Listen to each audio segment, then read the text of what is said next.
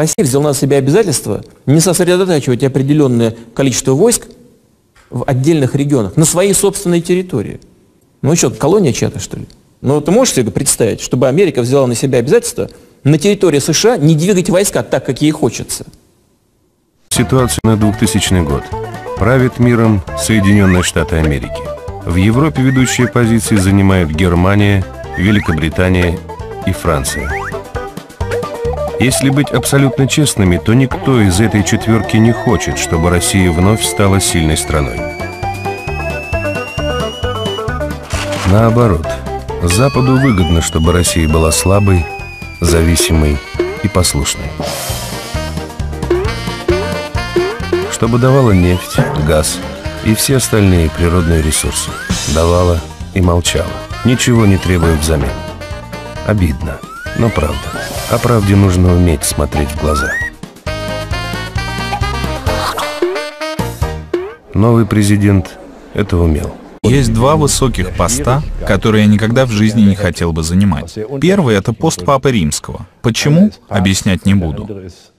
А вот президентом России я не хотел бы быть, потому что Россия — это гигантская страна, населенная абсолютно разными народами.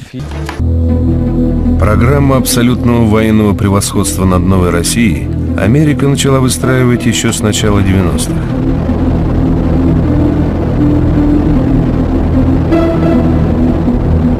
Развертывание элементов противоракетной обороны в Восточной Европе – лишь часть этой программы. Причем это делается под предлогом защиты от иранских и северокорейских ракет с ядерными боеголовками.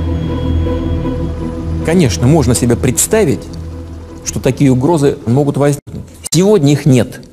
И то, что нам говорят, это неправда. Сегодня нет угроз со стороны ни Ирана, ни Северной Кореи. И мы тысячу раз уже это показали. На сегодняшний день э, противоракетная оборона, безусловно, нацелена на то, чтобы нейтрализовать ракетно-ядерный потенциал Российской Федерации.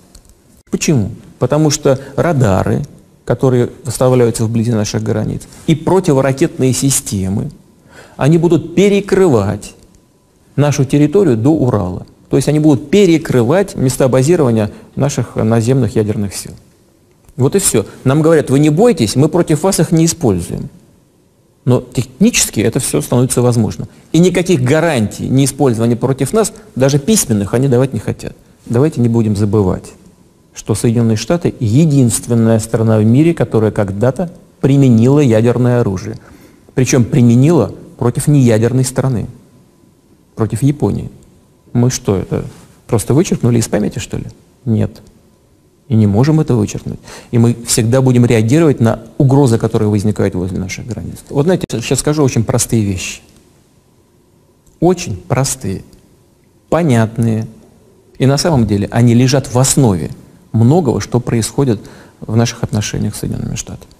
Мы единственная страна, кроме США, которая имеет ядерную триаду на земле, в воздухе и в океане. И количество ракет, и мощь, возможность доставки сопоставимы. И именно это лежит в основе очень многих решений, направленных в том числе на а, сдерживание России. Вот когда нам в Совете Безопасности ООН показывают какой-то порошок, который якобы найден в Багдаде, либо где-то на другой территории Ирака, и под этим предлогом, под предлогом того, что этот порошок является средством массового уничтожения, нужно вторгнуться в страну, ликвидировать там армию, повесить э, руководителей, какими бы они ни были. А потом выясняется, что никакого оружия массового уничтожения там нет, у меня сомнения возникают. Так ли наши партнеры искренне? Мне кажется, что наши партнеры не хотят союзников. Они хотят вассалов. Они хотят управлять. Но Россия так не работает. Ну что ж, каков привет, таков и ответ. Россия решительно выходит из подписанного Горбачевым договора до все, который ограничивал Россию в передвижении войск на своей собственной территории и подписанного Ельциным договора об ограничении стратегических вооружений ОСВ-3. Другими словами, Россия развязала связанные самой себе руки для возрождения собственной военной мощи. Начинается медленное, но целенаправленное возрождение и модернизация армии, брошенной, как и многое другое, на произвол судьбы в 90-е. Мы видим, как сегодня складываются военные кампании, на, на чем основан успех. И поэтому наши вооруженные силы должны отвечать требованиям завтрашнего дня. И по обычным вооружениям, и тем более по силам ядерного сдерживания. В чем-то мы даже на полшага впереди наших американских партнеров. У них есть свои преимущества, на море особенно, особенно по лодкам и так далее. У нас есть свои преимущества. Таким преимуществом можно отнести ракетные комплексы «Тополь-М», новую межконтинентальную баллистическую ракету «Ярс» и баллистическую ракету для размещения на подводных лодках «Булава».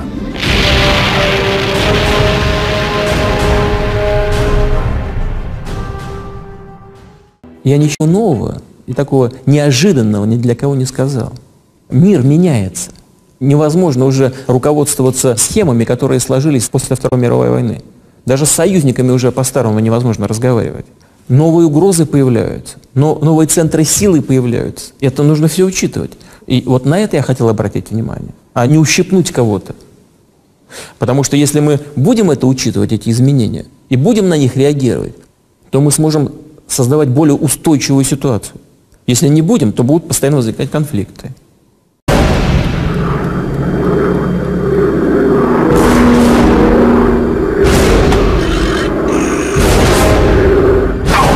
Теперь сухой остаток. За последние 12 лет из деградирующей, на грани развала страны, к которой относились с плохо скрытым пренебрежением, Россия вновь превратилась в важнейшего политического игрока на мировой арене – наряду с США, Китаем и Западной Европой.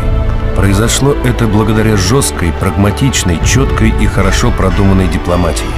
И хотя за последние 12 лет границы России практически не изменились, Россия стала занимать гораздо больше места на политической карте мира.